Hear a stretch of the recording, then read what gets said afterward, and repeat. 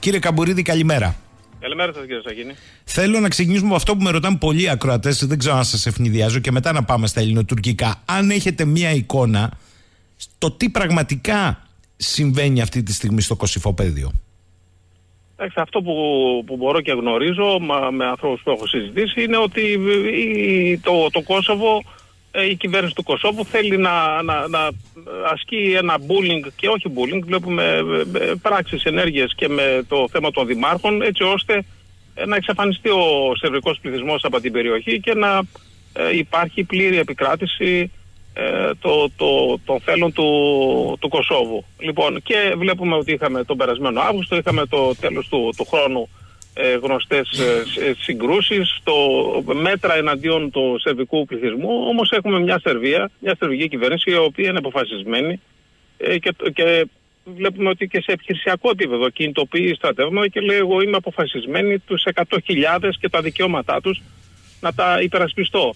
Ε, υπάρχουν και ε, θέματα προβοκάτσιας εδώ γιατί βλέπουμε να εμπλέξει, το, να εμπλέξει το, τις δυνάμεις της K4 ε, απέναντι στους Σέρβους ο Κούρτη ε, και είναι κάτι το οποίο θα πρέπει η διεθνής κοινότητα και το ΝΑΤΟ να το προσέξει έτσι ώστε να μην ε, η πονηριά του Κούρτη στραφεί εναντίον καταστεί μια σύγκρουση K4 με, με τους Σέρβους οι, οποίοι αποτελούν τα θύματα στην υπόθεση αυτή και στις πονηριές του Κούρτη.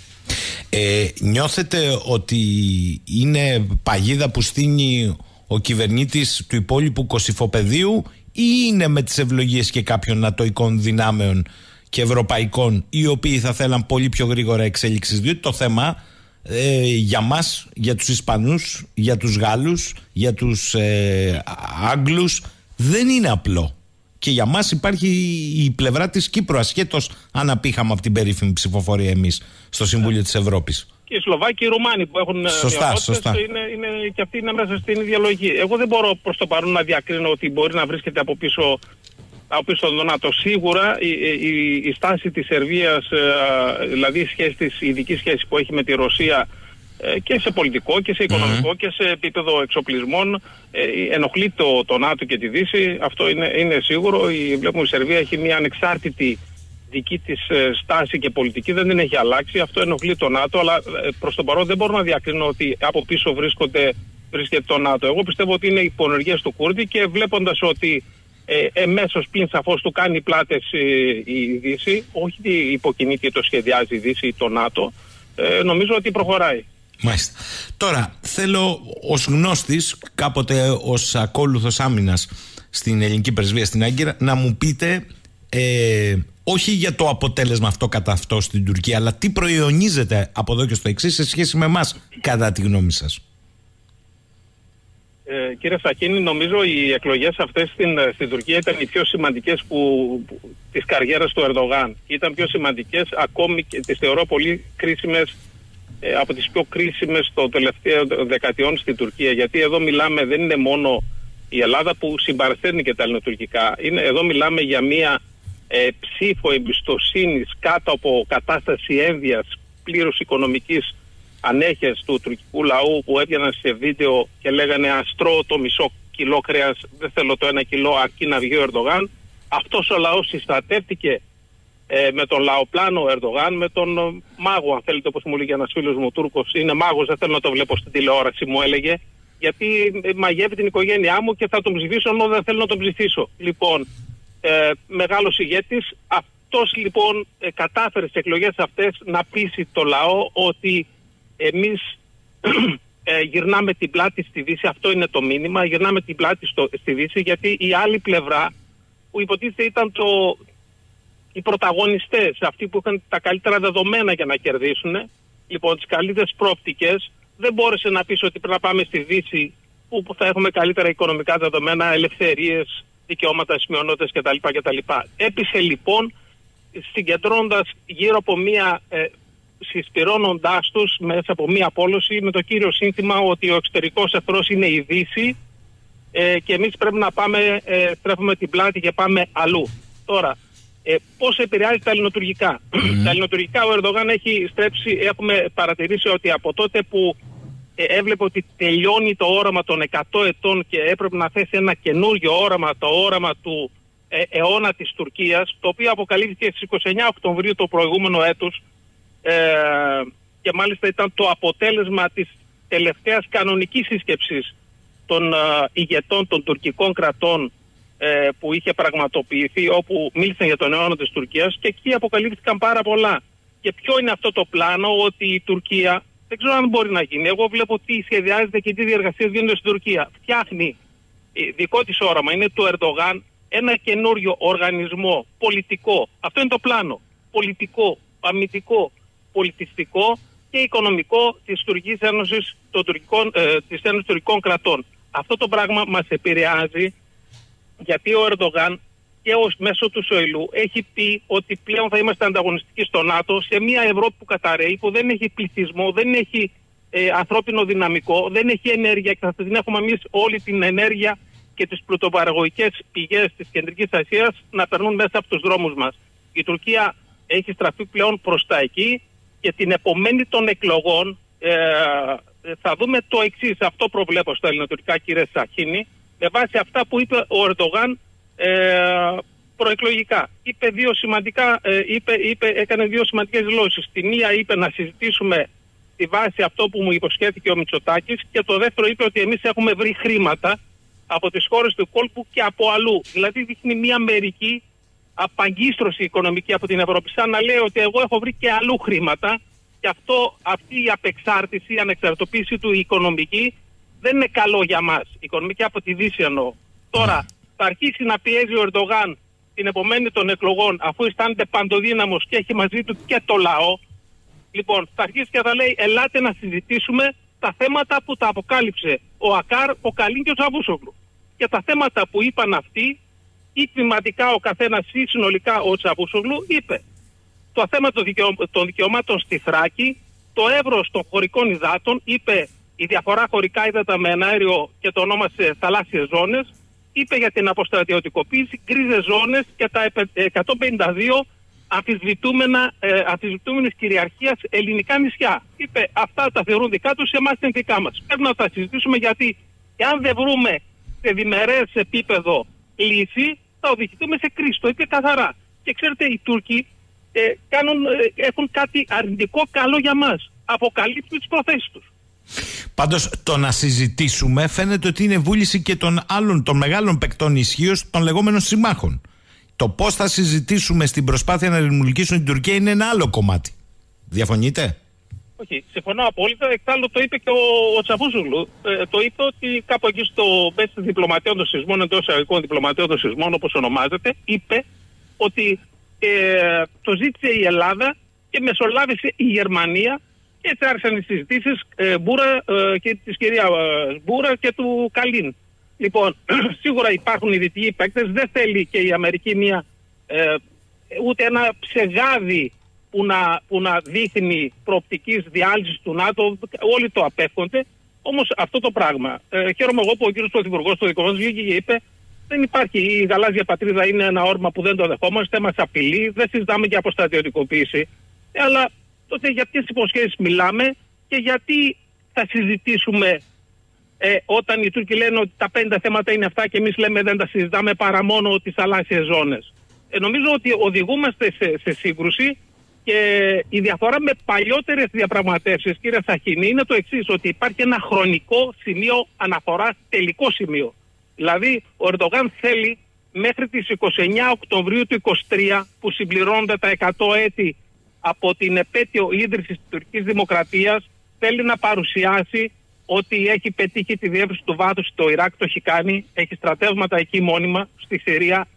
Θα συζητήσουμε τώρα, δεν θα τα πάρει ποτέ και θέλει να δείξει ότι πετυχαίνει, πρέπει να δείξει ότι κάτι πήρε και από το χάρτη της Γαλάζιας Πατρίδας. Μιλάμε για τον έλεγχο Αιγαίου Ανατολικής Μεσογείου. Οι συζητήσεις αυτές μην νομίζουμε ότι πάνε σε, ε, θα μπορούμε να τις χρησιμοποιήσουμε για να καθυστερήσουμε. Όχι, ο Ερντογάν θέλει συγκεκριμένα αποτελέσματα και θα το δούμε στο, στο άμεσο μέλλον. Πάντως, ε, ο διευθυντής της Εστίας και έμπειρο δημοσιογράφος, ο κ. Σκοτάκης, σε ένα πρωτοσέλιδο το οποίο σόκαρε λίγο, είπε ότι ακόμη και το αφήγημα των 180 ευρώ που έφυγε, που του ξέφυγε του κυρίου Γεωργιάδη, τον ανακάλεσε στην τάξη ο μέχρι πρώτη ω πρωθυπουργός, γιατί τώρα έχουμε υπηρεσιακό πρωθυπουργό, ε, δεν είναι τυχαίο. Είναι στα πλαίσια ενδεχομένως προχωρημένων συζητήσεων, αυτό γράφει ο κύριος Κοτάκη, οι οποίες λένε ακόμη και για σύμφωνο μη επίθεσης και για 12 ναυτικά μίλια ε, χωρικά ύδατα στο, στην υπηρετική όμως Ελλάδα και όλα τα άλλα να είναι διάδρομοι και για την Τουρκία, τα χωρικά ύδατα, ε, και διευθετήσεις στην ΑΟΖ.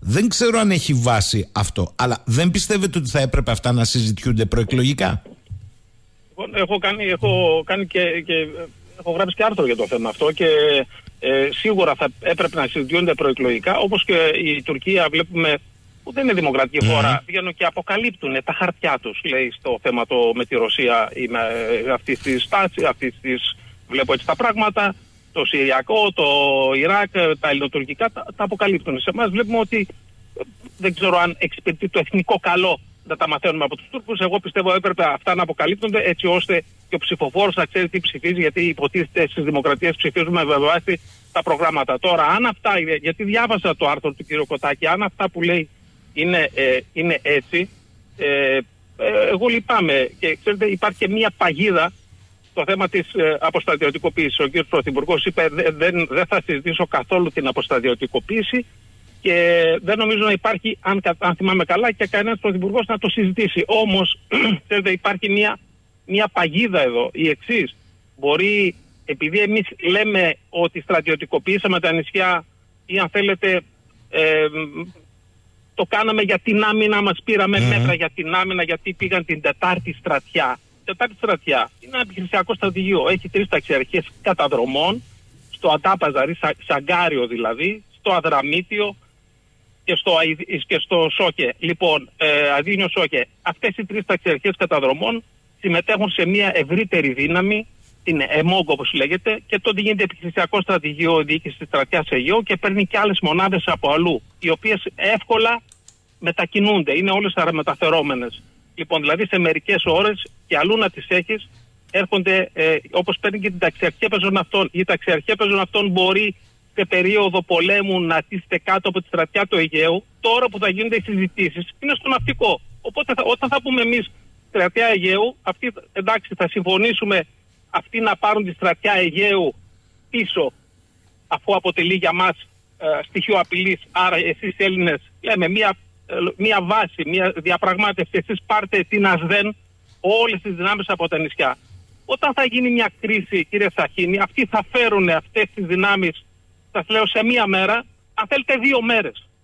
Ε, λοιπόν, είναι το πολύ που σας λέω σε δύο μέρες, και εμείς θα θέλουμε τουλάχιστον δύο μήνες και, και πάλι είναι.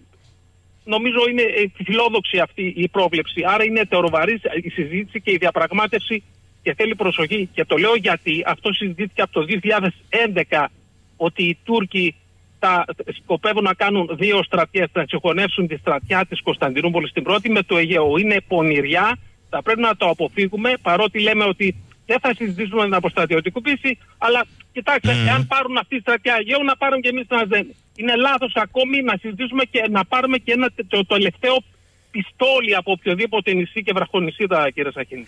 Λέει εδώ ένας φίλος ο Νίκος, λυπάται ο κύριος ε, Καμπουρίδη αν έχουν βάσει τα όσα αναπτύσσει η αιστεία του κύριου Κοτάκη ή οργίζεται τελικώς; Όχι, εγώ οργίζομαι καλά, το, σωστά το έθεσε. Ε, ε, ε, λυπάμαι αν υπάρχουν τέτοιες σκέψεις, αλλά οργίζομαι σαν Έλληνας πολίτης.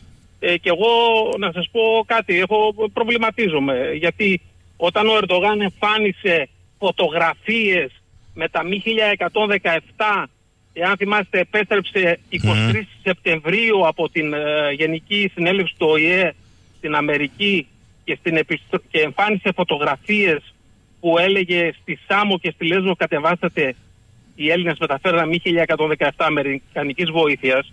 Εγώ αναρωτιέμαι, επειδή θα ερχόταν 1200 τέτοια, είχαν έρθει 400 και θα πηγαίναμε στα νησιά. Ε, ε, εύχομαι ε, κύριε Σαχίνη, να συνεχίζετε και να μην φοβόμαστε να, να, να, να, να συνεχίζουμε να εξοπλίζουμε, γιατί αυτά γίνεται σε μία βάση εξυγχρονισμού των δυνάμεων στα νησιά. Θέλω να πω ότι το bullying των Τούρκων, όπως και στο θέμα των ασκήσεων, το bullying των Τούρκων δεν μπορεί να έχει αντίκτυπο στα επιχειρησιακά μας σχέδια. Δηλαδή, το bullying, το, το ρητορικό ή όλο αυτό θα χρησιμοποιήσω, θα στείλω μετανάστες, θα έρθω μια νύχτα. Ό,τι θέλει ας κάνει εμείς, αν δεν συμφωνήσουμε, αν δεν κάνουμε μια συμφωνία ότι τελική πρέπει εσύ πάρε δυνάμεις ή οτιδήποτε ή στα χωρικά δεν, δεν ξέρω τι θα καταλήξουν διαπραγματεύσεις, ελπίζω ε, όλοι είμαστε με το διάλογο. Ελπίζω όμως να, αυτό να μην επηρεάζει τη λειτουργία των ενόπλων δυνάμεων σε θέματα ασκήσεων ετοιμοπόλεμου και μεταφοράς μεταφοράς ενισχύσεων ε, στα, στα ελληνικά μας νησιά. Ε, μισό λεπτό. Εσείς ε, γράψατε ένα άρθρο στο Army Voice και είχατε αναφερθεί στην ανακοίνωση του τουρκικού Υπουργείου Εθνικής Άμυνας για την εκτέλεση της αεροναυτικής άσκησης Θαλασσόλικος στο διάστημα 1 με 12 Ιουνίου σε δύο φάσεις και μάλιστα υπήρχαν προβλέψεις για καταλήψεις πολεμικών σκαφών, βραχονισίδων κτλ. Ακολούθησε η αφαίρεση της ανακοίνωσης από τουρκικής πλευράς για την άσκηση και ελληνικά μέσα το απέδωσαν σε οικονομική δυσχέρεια των Τούρκων να καλύψουν το κόστος. Χθες βλέπω ότι εντοπίσατε ότι τουλάχιστον τα τουρκικά μέσα, το διευκρινίζετε, δεν ξέρω λέτε αν έχει βάση, τα τουρκικά μέσα λένε ότι η ακύρωση της τουρκικής άσκησης θαλασσόλικος αποφασίστηκε κατόπιν ελληνικής πρωτοβουλίας να περιορίσει την άσκηση των ελληνικών ενόπλων δυνάμεων κατά γης 23. Σύμφωνα με την είδηση αυτή, αν σίγουρα ισχύει, λέτε, επειδή η ελληνική άσκηση μετατράπηκε σε μικρής διάστασης εκπαίδευση, αποφάσισαν οι Τούρκοι να μετατρέψουν σε μικρή τακτική εκπαίδευση και τη δική τους. Εάν ισχύει αυτό, γιατί κρατάτε επισυνές και καλά κάνετε, τι σημαίνει; Εντάξει, εγώ κρατάω πισινές γιατί βλέπω κάποιοι κάνουν σχόλια και νομίζουν ότι όταν κάνεις κάποια κριτική με, με, με γνώμονα το εθνικό καλό, ε, λέει, οχ, ε, πλή, κάνει, χτυπάει την κυβέρνηση, άρα είναι κομματικός. Εγώ θέλω να είμαι έξω από αυτές τις συζητήσεις. Και όταν μάλιστα, ξεκαθαρίζω, όταν μάλιστα κατηγορούσαν την κυβέρνηση γιατί έδιωχνε τα BNP-1 από την, και τα πήγαινε στην Ουκρανία, εγώ ήμουν αυτός γιατί είχα κάνει διοικητή τρία χρόνια σε μονάδα στην Καλονή Λέσβου και είχα 21 BNP και έλεγα ήταν σαράβαλα εδώ και 15 χρόνια. Έχει σκοτωθεί κόσμος. Καλά κάνανε, ας τα πάνε όπου θέλουν. Και γιατί δεν διαμαρτυρήθηκαν όταν πήγε τα δύναμη στην Αίγυπτο και στο Ιράκ και διαμαρτύρονται. Δεν κάνω, θέλω να το πω ως παράδειγμα ότι δεν, κάνω, δεν, έχω, δεν θέλω να έχει καμία κομματική απόκρουση ο λόγο μου. Εμένα αυτό με ενδιαφέρει το, ετοιμό, το αξιόμαθο των ελληνικών ενόπλων δυνάμεων και η ισχυρή διαπραγματευτική δύναμη ισχύς της χώρας μας απέναντι στην απειλή που λέγεται Τουρκία και δεν θα σταματήσει ποτέ. Πάμε στις ασκήσεις, κύριε Σαχίνη. Κοιτάξτε να δείτε το θέμα των ασκήσεων, να το δούμε ιστορικά. Οι, οι Τούρκοι είχαν δύο ασκήσεις μεγάλες. Την ΕΦΕΣ, Έφεσος και, και την Ντενής Γκουρντού. Οι υπόλοιπες είναι μικρότερες μικρότερες ασκήσεις. Η μία είναι ε, διακλαδική, η μεγάλη, η μεγαλύτερη κορονίδα που κάνουν και αποβατική άσκηση. Και έχω πάει και, ως, ε, και στην πρώτη μου αποστολή, αλλά και δύο φορές είμαι προσκεκλημένος από τους Τούρκους στο παρατηρητήριο ως ακόλουθος άμυνας και την έχω παρακολουθήσει.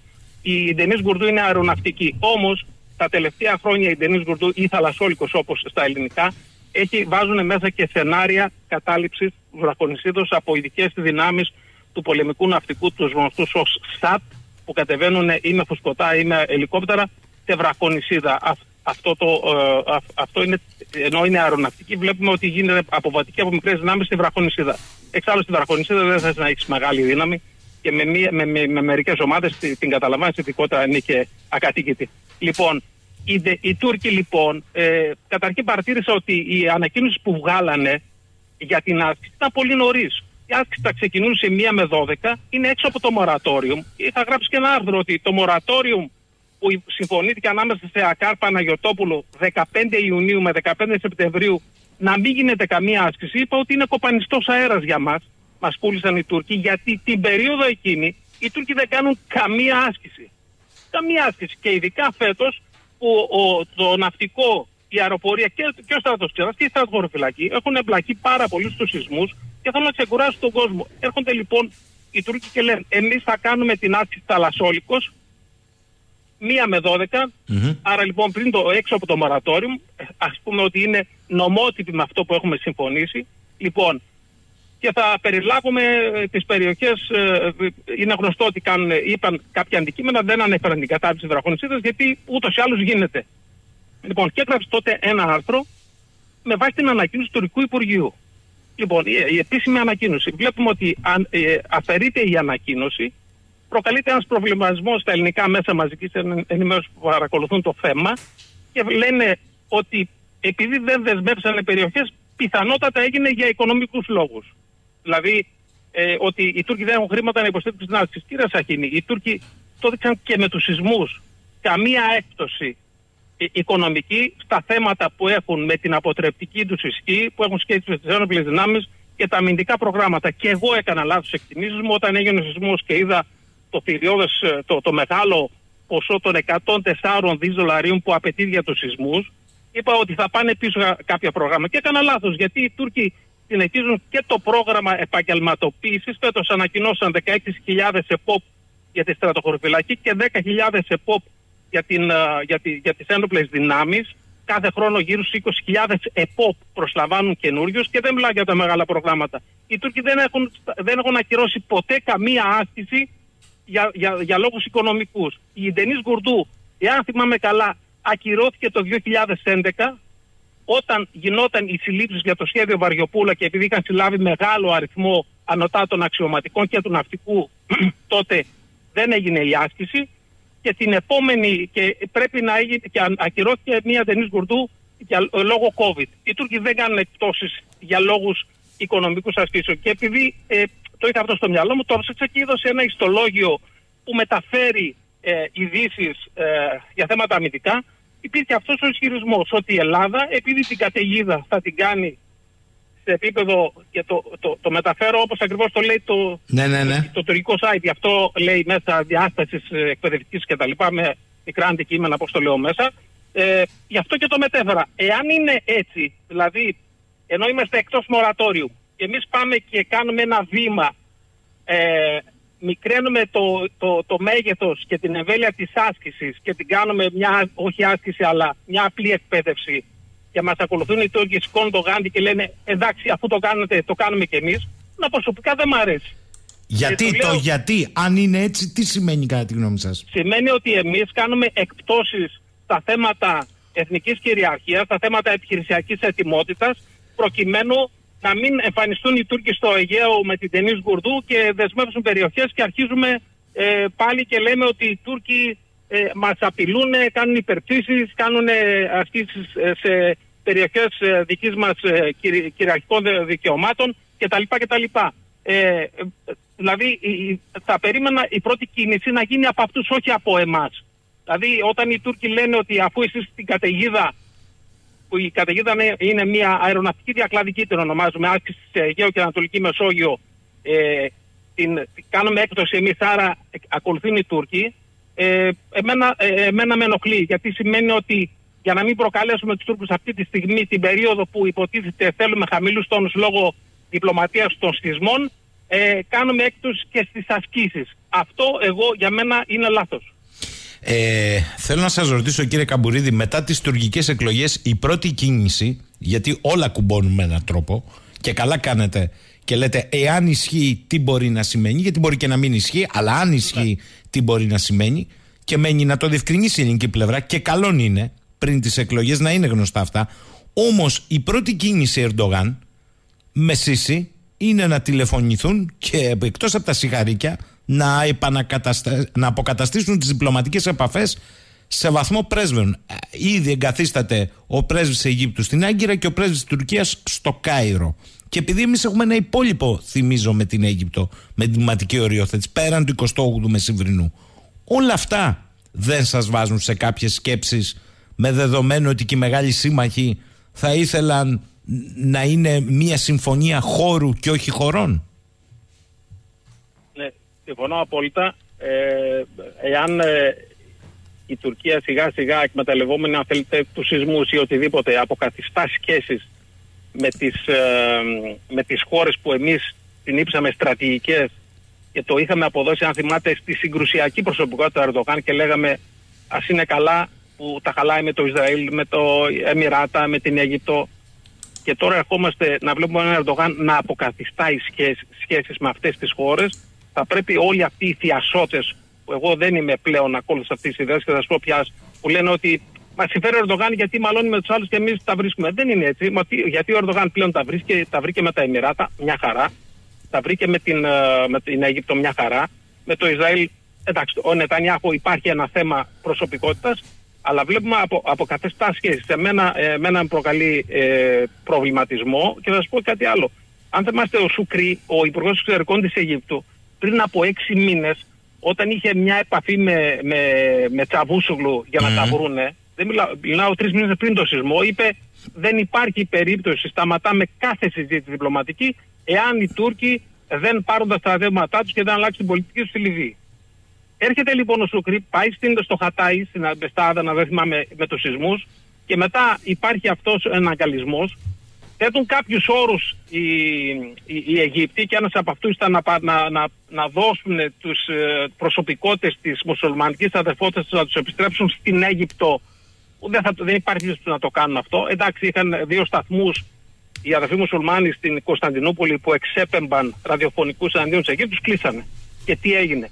Λοιπόν, και βλέπουμε ότι η Τουρκία παραμένει στη Λιβύη, είναι ενεργότατη στη Λιβύη, λοιπόν συνεχίζει να ενισχύει τις δυνάμεις στη Λιβύη και η Αίγυπτος προχωράει, ενώ είχε αυτόν τον όρο, προχωράει ε, σε, όχι μόνο σε διαπραγματεύσεις, ε, τηλεφωνήματα, εναγκαλισμοί, αλλαγή πρέσβεων κτλ. κτλ.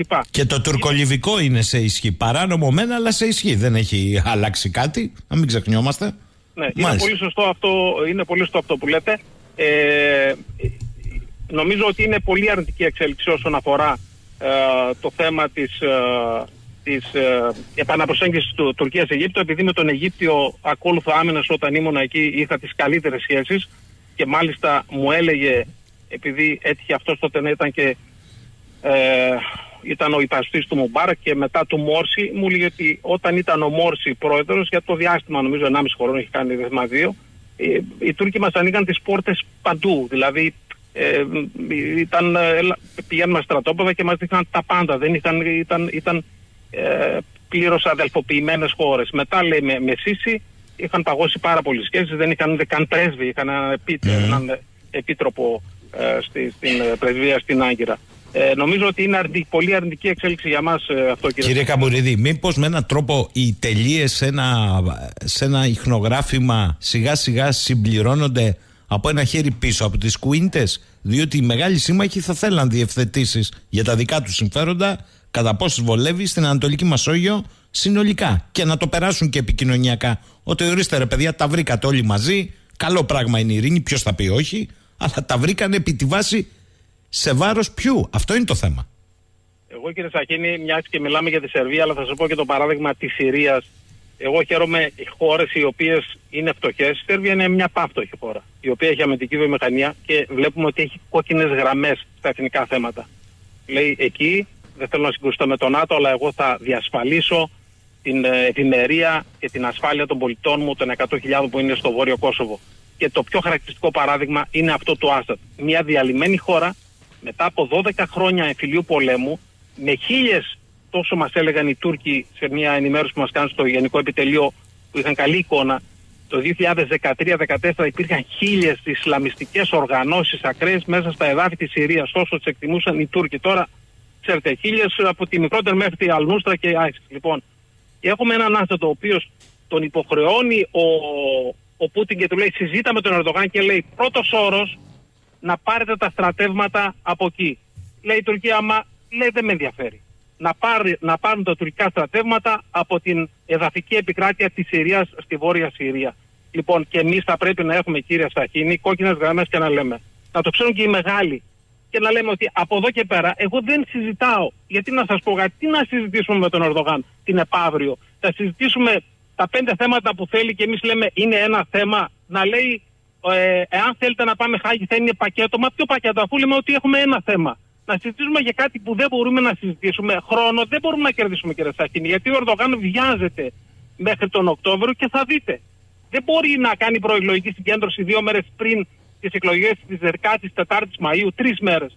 Και μόλις το σηκώνει το μικρόφωνο, λέει ε, ο Έλληνας ανταποκριτής, λέει ο Ερντογάν, θα να σταματήσουμε να συγκρόμαστε, αλλά μην ξεχάσεις τις τις, ε, ε, υποσχέσεις ο Μητσοτάκης οι κόκκινες γραμμές πρέπει να είναι αδιαπραγμάτευσες της κάθε κυβέρνησης και να μην αφήνουμε γκρίζα τοπία. Όταν αφήνεις και λες ότι αυτό μπορεί να το συζητήσω, υπάρχουν διάφορες φωνές στην Αθήνα και οι μεγάλοι, ξέρετε τι λένε. Οι μεγάλοι λένε, οκ, αφού βλέπουμε ότι κάπου είναι χαλαρό ε, το θέμα, η ατζέντα, γιατί να μην, να, μην το, να μην πιέσουμε την ελληνική πλευρά.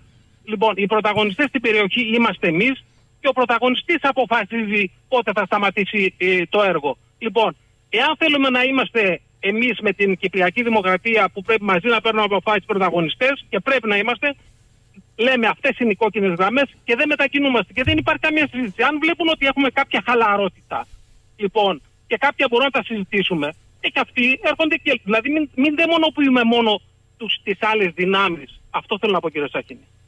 Ε, υπάρχει ένα τελευταίο ερώτημα από το φίλο τον Αργύρη. Άρα, κατά τη γνώμη του κυρίου Καμπουρίδη, θα έπρεπε έστω και τώρα να υπάρχει μία συνεννόηση όλων των πολιτικών δυνάμεων στην ΑΒ της στρατηγικής από εδώ και κάτω. Γιατί όλοι δηλώνουν μετά τις εκλογές ότι έχουν καταλάβει και τι θα κάνει ο Ερντογάν.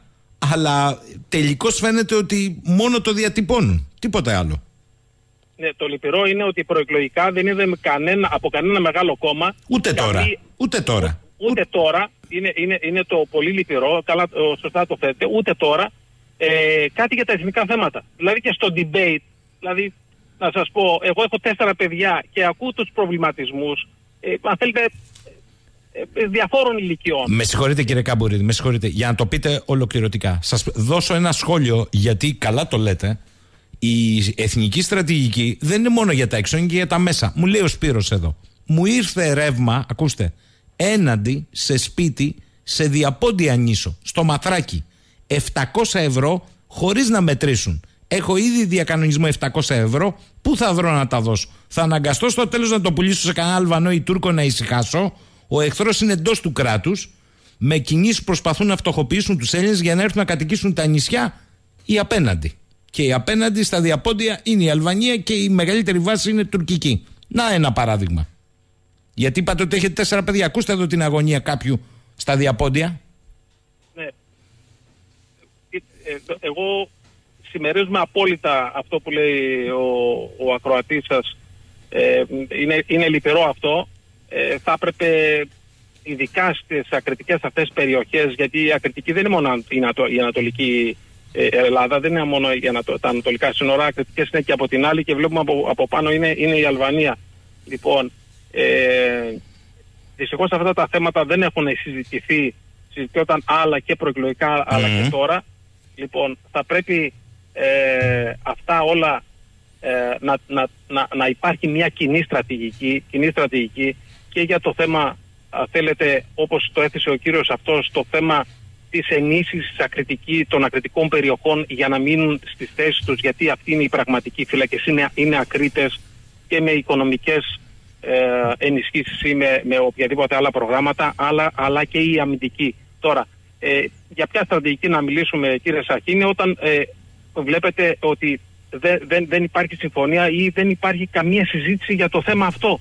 Μα αυτό θα έπρεπε να είναι διακομματικό, δεν θα έπρεπε να έχει κάποιο χρώμα και σε, να ερχόμαστε τώρα σε ένα σημείο να κάνουμε μια κριτική και να λέει ο άλλος κοίταξε έχεις κομματικό λόγο στη, στο, έχεις κομματική απόχρωση στο λόγο σου. Φυσικά έπρεπε να, να είναι διακομματικοί, να έχουν καθοριστεί, αλλά φοβάμαι ότι δεν υπάρχει κάτι τέτοιο, μια κοινή γραμμή.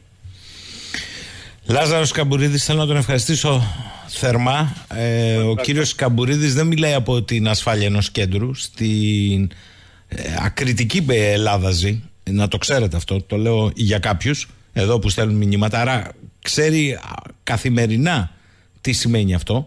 Θέλω να τον ευχαριστήσω θερμά. Καλή σας ημέρα κύριε Καμπουρίδη. Εγώ σας ευχαριστώ, να είστε καλά. Καλή